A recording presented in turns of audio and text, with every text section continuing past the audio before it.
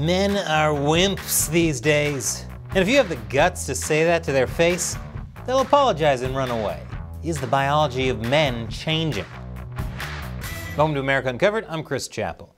If you ever looked at pictures of young men from the past, you may have noticed something. They look a lot older. Now, that can be easily explained by all the drinking and smoking and war, but they also look a lot manlier. Though, oh, not as manly as yours truly. Even in the 1980s, manly college students looked manlier than today's modern manly men.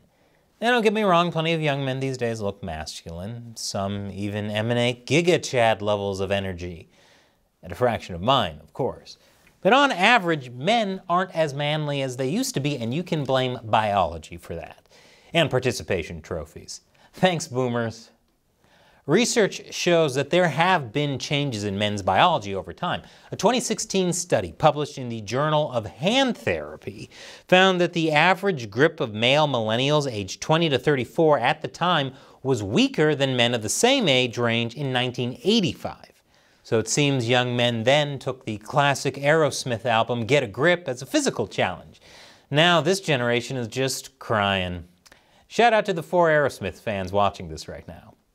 In other words, today's men are weaker than their dads, as the amount of force they can apply with their right hand is only 98 pounds compared to 117 pounds in 1985. Now personally, I have a great grip because there are so many jokes I want to make right now, but I'm keeping a grip on them. But it's not just muscle strength that's changed. The average testosterone level has changed as well. Multiple studies have found that testosterone levels have been on the decline. I guess walking to school uphill both ways in a snowstorm made you manlier. That's why my grandpa was born with a full beard. In 2007, researchers at the New England Research Institutes found a population-level decline of testosterone levels in American men. Even when you take aging into consideration, the average testosterone levels of 65-year-old men in 1988 were much higher than in 2003, as you can see in this graph. And it's not just in the US. Studies found similar results with Finnish and Danish men, which is shocking because if centuries of wearing wooden clogs didn't make Danish men less manly, I thought nothing ever would. Israeli researchers got the same results as seen in this line graph. The yellow line shows that the average testosterone levels of males of different ages between 2016 and 2019 were much lower than earlier years. Now, I'm sure you know testosterone has a lot of really important functions. It doesn't just affect men's sex drive and sperm count, but testosterone is also associated with bone mass, fat distribution, muscle mass, and the production of red blood cells.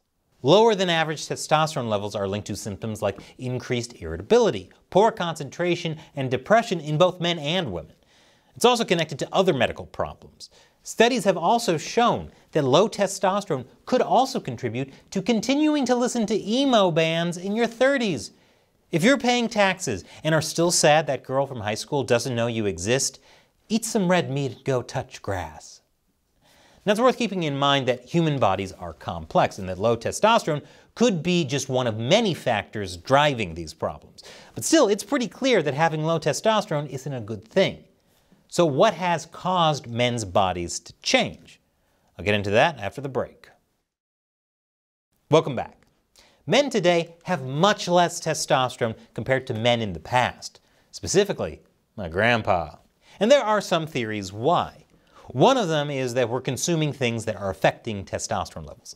In some ways, it's true, but it's not as simple as people make it out to be. Many believe anything that has soy in it, such as tofu, decreases masculinity due to its estrogen content. That's why we have the term soy boy. I'm surprised we also don't hear vegan guys get called kale males or mang bros. Go on, give those a spin. Despite that, scientifically speaking, whether soy consumption actually decreases testosterone isn't very clear. Two 2021 meta-analyses examined hundreds of studies and concluded that neither soy nor isoflavone, one of the estrogens in it, affect male reproductive hormones. Also, a lot of the concerns about soy's hormonal effects are based on in vitro and animal studies, which aren't the same as studies done on humans. So the problem is probably not soy. More likely, it's the water we drink. More specifically, contaminants in the water we drink. No, I'm not saying the water's going to make you or the frogs frickin' gay. I'm just saying, based on real medical research, that there are hormone disruptors in the water that might affect the reproductive system. All kinds of chemicals can affect male biology, and they're almost impossible to avoid. For example, this study from China suggests disinfection byproducts in drinking water are linked to decreased testosterone and sperm concentration. Disinfectants are making people less manly? What are they trying to say? That cleaning is a woman's job? That's sexist. Prove that you're an ally by putting a shot of Purell in your smoothies, kale males, and mangbros. Other studies found that bisphenol A, also known as BPA, a chemical used in water bottles, water pipes, and metal food cans, is linked to reduced sperm quality, and even infertility. So to stay manly, does that mean you just need to drink beer straight out of a bottle? Assuming it isn't Bud Light. Multiple studies found that exposure to certain chemicals found in stain-resistant coatings, water-resistant fabrics, food packaging, and other products can impair sperm.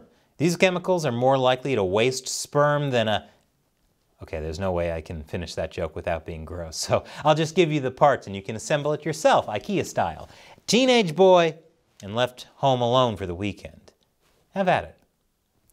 Even though manufacturers are moving away from using these chemicals, they don't break down. They remain in the environment and there's still a lot we don't know about the long-term effects.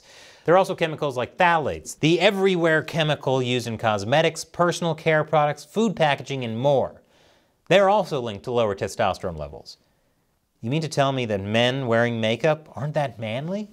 So it could lead them to listening to emo, which would lead them to wearing guy liner, which would lead them to listening to even more emo.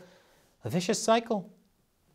Now, does this mean that you should be absolutely paranoid about everything that goes into your body? No. There are a lot of links between the chemicals mentioned and male biology, but there's still a lot we don't know.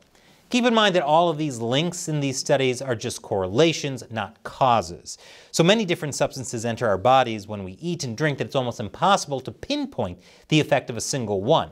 That's why food science is well known for its reliability and accuracy.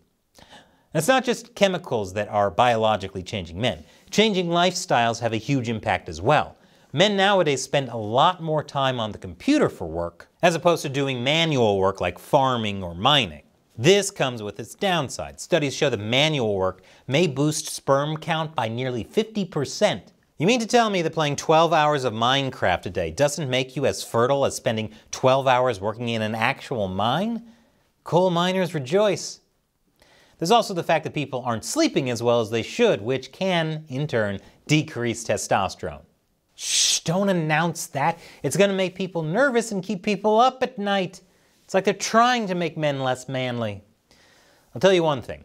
The answer to men becoming less manly is not getting swole, because as strange as it may sound, hitting the gym nonstop and taking supplements are actually also linked to low sperm counts, shrinking testicles, impotence, and even, you guessed it, low testosterone. These fitness standards are super unhealthy for lots of reasons. And besides, not everyone can or should be a giga chad like me. And in my ongoing attempt to skirt YouTube censors by hiding controversial issues in gaming content, here's a video about Resident Evil that's really about Big Pharma. Let me know what you think. You can also take comfort in knowing that while male biology is changing for the worse, America Uncovered's biology is only changing for the better, made stronger thanks to supporters on Patreon. Click the orange button to contribute. Once again, I'm Chris Chappell. Thanks for watching America Uncovered.